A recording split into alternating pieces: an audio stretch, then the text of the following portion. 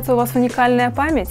Ну, не только у меня, наверное, много шашистов, но я считаю, что я обладаю очень сильной памятью и очень сильным расчетом, дальним расчетом. Вот после партии порой показываю очень крутые варианты.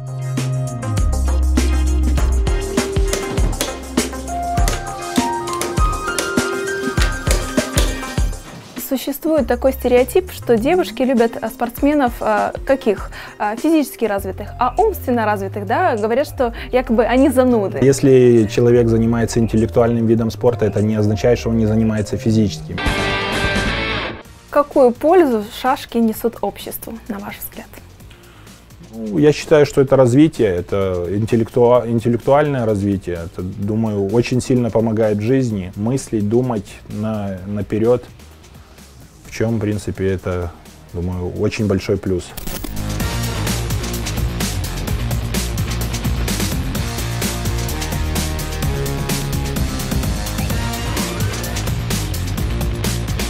Вы учились хорошо в школе? Ну вот как раз-то, наверное, первые три класса я хорошо учился. Когда занялся уже вплотную шашками, начались турниры. Естественно, учеба отошла на второй план. И стало понятное дело, что надо было выбирать совмещать. Тут э, э, мы играли по 20-25 турниров в год. Буквально там мог приехать на неделю и опять уехать на турниры. Ну, в принципе, доволен тем, что шашки дали путь в жизнь. Это моя профессия. Когда вы начали ездить на соревнования? Я начал заниматься с 9 лет, и в первый, первый раз, наверное, буквально там через несколько месяцев после того, как начал заниматься, мы уже поехали на первый республиканский турнир в Симферополь.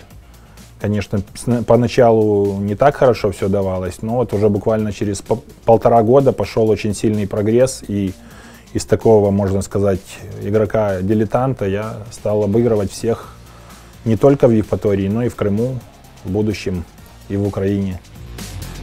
Одноклассники, наверное, завидовали вам, мне так кажется. Ну, в принципе, да, потому что даже вот в последнем, в одиннадцатом классе все готовились к экзаменам, а меня освободили в связи с тем, что проходил э, все украинский турнир командный, где играли все команды всех регионов Украины.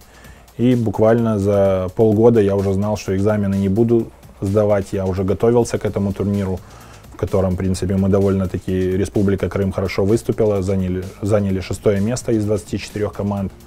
Это был тогда действительно прорыв, очень хороший результат. Что самое главное? Самостоятельная работа, а, работа с тренером, либо сильный соперник? Ну, вот я могу сказать, что, в принципе, все очень важно. Но когда ты выходишь на уровень самый высокий, где надо индивидуальное мастерство. То есть тут уже может тренер играть там роль менеджера у тебя, а в принципе самое важное это вот заниматься надо с программами, с компьютерными. Ну раньше этого не было, раньше все это в руках, в голове держали, а сейчас с появлением компьютерных программ, конечно, стало легче. Первый тренер был Валентин Васильевич Поздняк, который, в принципе, дал такой толчок к этому виду спорта, который вот в будущем я стал чемпионом мира и горжусь этим, горжусь своим тренером, который действительно нас возил на все эти мероприятия. Если бы мы не ездили, играли вот в регионе, то, я думаю, этих бы успехов не было. Есть спортсмены, которые в течение жизни меняют тренера, да? Сначала был один тренер, потом другой. Это вообще возможно? И этично ли заниматься, допустим, сразу с несколькими а, наставниками? Ну, в принципе, такие варианты наблюдаются. И это очень часто. Вот мой, моим вторым тренером был Виталий Макарыч Жук, это который действительно сделал очень много. Благодаря ему я и развил вот это все. Первый тренер, конечно, дал большой толчок, но с приходом второго тренера действительно все стало еще на один или даже на несколько уровней выше. Потому что я ездил уже на более важные соревнования. Это были чемпионаты мира, чемпионаты Европы, это, соответственно, дальние страны соответственно, другое финансирование, и там приходилось изыскивать, в чем он мне помог и в чем его очень большая заслуга, не только как тренера, и как организатора всех этих мероприятий. Тут э, в мужских турнирах это крайне сложно. То есть, чтобы женщины выигрывали у мужчин, Это бывает очень крайне редко. Но вообще женщины, как правило, играют в турнирах, в женских проводятся также само параллельно турниры и среди женщин. Все те же самые, как вот чемпионаты России, чемпионаты мира, Европы. Но иногда встречаются женщины в мужских турнирах играют. И бывает, вот сейчас, допустим, э, чемпионаты Кубки мира, они проводятся совместно. Просто зачет идет отдельный, мужской и женский. Но женщинам довольно-таки хорошо удается играть с мужчинами, то есть, ну, как минимум, не проигрывать и там даже иногда у сильных выигрывать.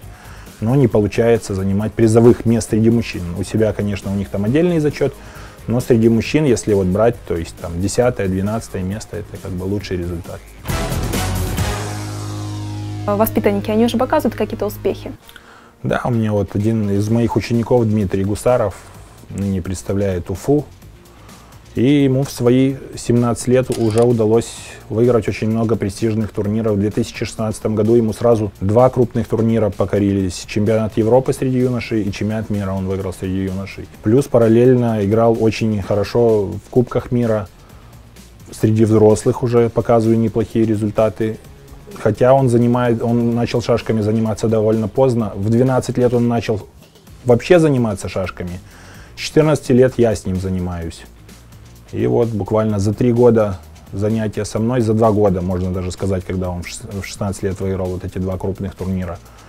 То есть, когда ребята хотят заниматься и хотят показывать высокие результаты, то я думаю, что все у них получится. Главное идти к своей цели и работать над шашками, работать над спортом. Но сейчас он учится в 11 классе, поэтому немножко решил сбавить обороты, готовиться государственным экзаменам и к поступлению, но думаю, позже вернется и будет показывать уже большие успехи на взрослых турнирах.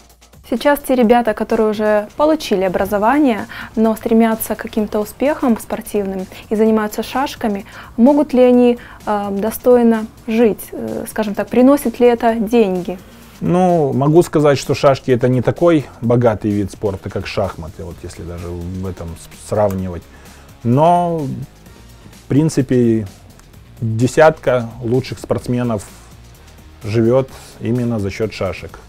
Ну а если ты не показываешь результаты, то как бы для тебя это уже как, как хобби.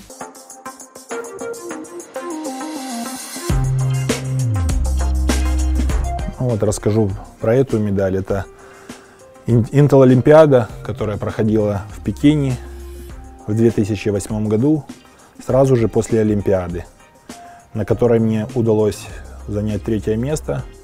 В матче за третье место я обыграл Николая Стручкова. Мы с ним, с ним соперничаем, начиная там от тур, турнира самых детей, потом кадеты, юноши и так далее.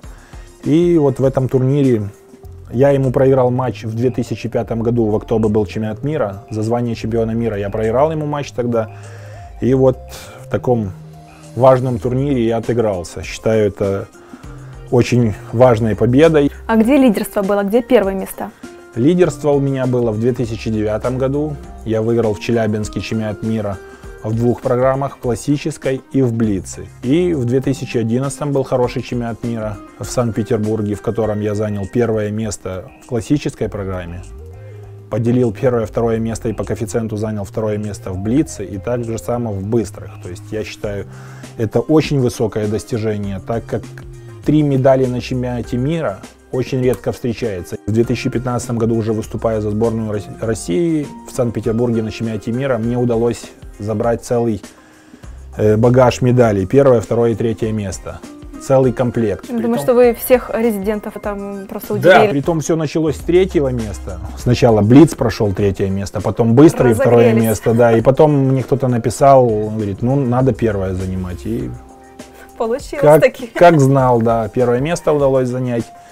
И с хорошим результатом закончил, это был конец года, закончил год такой на приятной ноте. Самые длительные соревнования по времени помните? Они по времени проходят порядка 9 дней. Играется 9 туров, каждый день один тур. А вот если взять самые длительные партии, то партии где-то одна вот партия в стоклеточной шашке, я помню, играл порядка 6 часов. То есть очень такая тяжелая напряженная партия была, где пришлось считать, профессионалы очень хорошо считают позиции, то есть там могут считать 10-15 вариантов на 10-15 ходов. Притом надо, посчитав один, второй, третий вариант, не забыть потом то, что ты считал. То есть это все надо держать в голове. Это крайне нелегко. То есть ты просто можешь отключиться, несмотря на доску, начинать это просчитывать в голове. Способность запоминать вам как-то помогает в жизни? В принципе, да, и мыслить, и запоминать, и как-то вот действовать в каких-то определенных ситуациях. То есть шашки я вот считаю, что дали очень много мне. Существует такой стереотип, что девушки любят а, спортсменов а, каких? А, физически развитых, а умственно развитых, да? Говорят, что якобы они зануды. Если человек занимается интеллектуальным видом спорта, это не означает, что он не занимается физическим. Без спорта, проводя такие длительные партии, только как бы физические какие-то нагрузки, спорт разбавляет это, потому что очень тяжело сидеть за доской столько времени, после этого как бы уже и, и ничего не хочется. Но надо работать над собой постоянно. Я и футбол играю, и в настольный, и в большой теннис, то есть постоянные тренировки. Для вас э, шашки – это работа скорее, а для кого-то это увлечение э, и отдых. А ваш отдых, как он протекает? Ну, я, как и все, отдыхаю. Сейчас шашечные турниры, они не так часто проходят, как раньше. Поэтому есть время на отдых. Время есть, на отдых. есть чем заняться, да. Ага, время на отдых есть, на личную жизнь есть время? И на личную жизнь есть, да. Все, все успеваем. Вас поддерживает семья? Да, все поддерживают меня и помогают, и моя команда помогает. Все переживают, болеют. Поэтому, наверное, эта поддержка и дает о себе знать хорошие результаты на протяжении стольки лет просто так не получились бы. Как вашу деятельность вы видите через пять лет? Пока я не собираюсь заканчивать, буду играть. Я сейчас, я, э, я сейчас чувствую себя очень превосходно, показываю действительно очень хороший уровень. Этот уровень на протяжении уже 16 лет. Первые мои успехи во взрослых шашках зародились в 2003 году, когда я стал чемпионом мира. И вот с этого года, и вот с 2003 года по нынешний год у меня довольно-таки приличные результаты.